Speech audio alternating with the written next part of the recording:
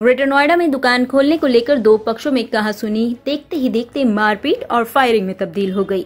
यहाँ तक कि गोली चलने की घटना भी सामने आई है। वहीं बता दें, गोली चलने से घटनास्थल के पास खड़ी एक महिला को गोली जा लगी है, जिससे महिला गंभीर रूप से घायल होकर ज़मीन पर गिर पड़ी। गोली चलते ही चारों तरफ़ अफरा तफरी का माहौल बन गया। सूचना मिलते ही मौके पर पहुँची पुलिस ने घायल महिला को उपचार के लिए अस्पताल में भर्ती कराया है, जहाँ उनका उपचार चल रहा है। वही पुलिस ने मुकदमा दर्ज कर जाँच शुरू कर दी है। ग्रेटर नोएडा ज्वाशा कोतवाली क्षेत्र में दुकान खोलने को लेकर दो पक्षों में जमकर मारपीट और फायरिंग हुई।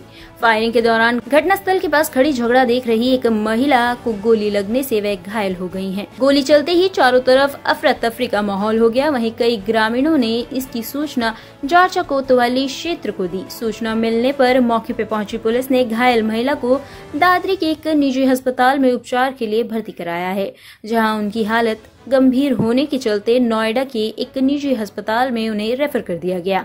वहीं पुलिस के आला अधिकारियों ने मुकदमा दर्ज कर आरोपियों की तलाश शुरू कर दी है।